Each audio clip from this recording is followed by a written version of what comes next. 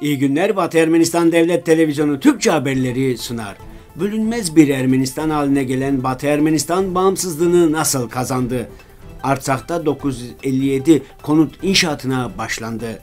Ermeni karşıtı açıklamalar içeren deklarasyon görüşülmek üzere Türk Meclisi'ne sunuldu. Artsak bir işgal gerçeği olduğunu kabul edecek. Batı Ermenistan'da zanaat ve ticaret Amasya. Yığışe Çarens'in 125. doğum yıl dönümüne adanan şiir yarışması düzenlenecek. Tarihçi Gevorg Yazıcıyan Armenolojik nitelikte yeni yayınlar sunuyor.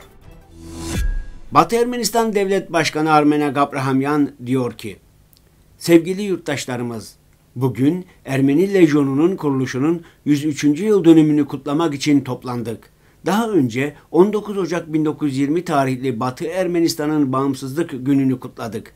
2020'deki ikinci Arsa Savaşı sonucunda Arsa topraklarının büyük bir bölümünün Azerbaycan tarafından işgal edilmesinden sonra Türkiye ve Azerbaycan şimdi sahte bir askeri zaferi yasal bir zafere dönüştürmeye çalışıyor. Bu yasal dayanak sadece Artsak'ın statüsüne değil, aynı zamanda Batı Ermenistan'ın hakları meselesine de atıfta bulunmaktadır. Batı Ermenistan Devlet Başkanı Armenak Abrahamyan'ın konuşmasının tamamını web sitemizde okuyabilirsiniz. Artsakh Kentsel Gelişim Bakanı Aram Sarkisyan'ın yaptığı açıklamaya göre Artsak'ta yeni konut programı kapsamında 3000'den fazla konutun inşası için çalışmalara başlandı.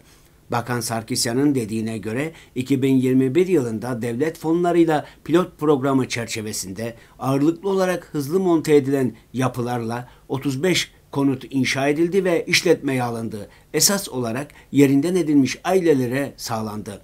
Başta Stepanakert askeren bölgesi olmak üzere 914'ü yerinden edilmiş ailelere sağlanacak 957 konutun yapımı için devlet bütçesinden destek alınarak inşaat çalışmalarına başlandı.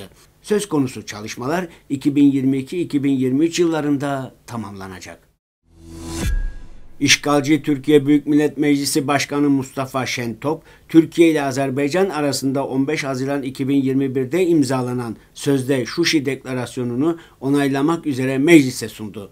Türk parlamentosu deklarasyonun Türkiye-Azerbaycan ilişkilerinin müttefiklik seviyesini yükselttiğini söyledi.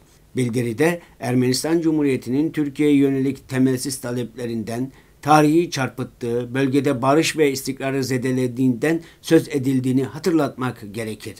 Bildiride Zangezur koridorunun açılmasının Türkiye-Azerbaycan ilişkilerinin güçlenmesine katkı sağlayacağı belirtiliyor. Batı Ermenistan, Azerbaycan ile aptal bir oyun oynayan Türkiye'nin Batı Ermenistan Ulusal Konseyi tarafından 17 Aralık 2004'te kabul edilen Şuşi bildirgesinin yerini alacak sözde Türk Şuşi bildirgesini onaylamak istediğini tamamen anlıyor ancak Türk tarafı geç kaldı. Türk Şuşi Deklarasyonu asla Ermeni Şuşi Deklarasyonu'nun yerini alamaz. Artsak'ın işgal edilen toprakları hakkında kanun tasarısı Arsak Parlamentosu'nun 16 Şubat'taki ilk oturumunda görüşülecek. Ardından ikinci görüşmede kabul edilmesi halinde 20 Şubat'ta tamamıyla ele alınacak. Artsak bir işgal gerçeği olduğunu kabul edecek ve bununla ilgili yerlerin, bölgelerin belirttiği ve mültecilerin sorunlarını gündeme getireceği bir yasa çıkaracak. Öncelik Hadrut'tan yerlerinden edilenlerin durumuyla ilgilidir.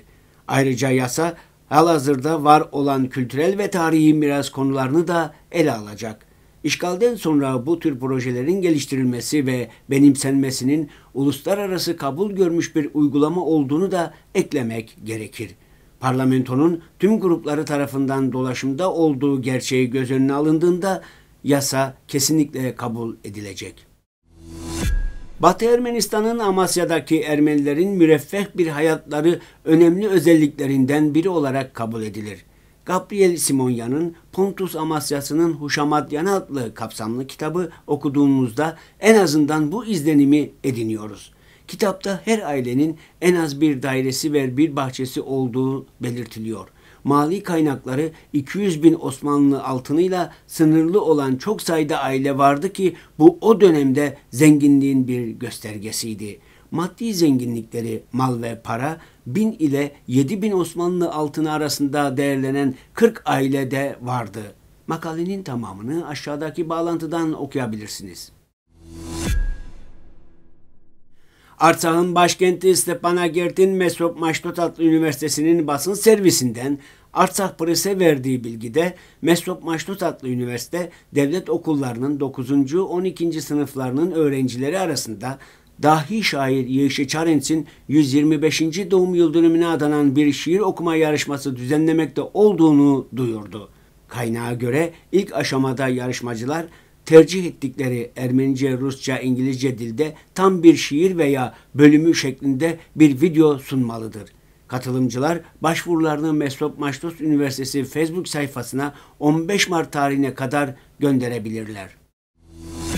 Tarihçi Gevorg Yazıcıyan, Ermeni basınına ve ana vatanda veya diasporada yayınlanan Armenolojik nitelikteki yeni yayınlara kamuoyunun özellikle kütüphanelerin ve Armenoloji çevrelerinin bilgisine sevgiyle ve düzenli olarak bibliografik veriler göndermeye devam ediyor. Bugün için bu kadarını öngördük. Şimdi size Şirek adlı topluluk tarafından seslendirilen Ermeni halk şarkısı Hasat Dirane Yarıs adlı eseri sunuyoruz.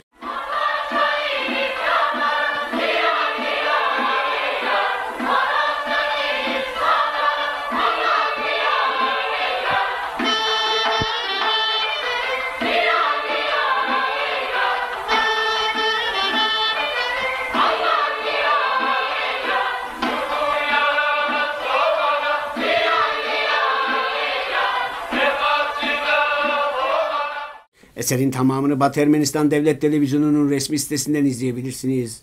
Hoşçakalın.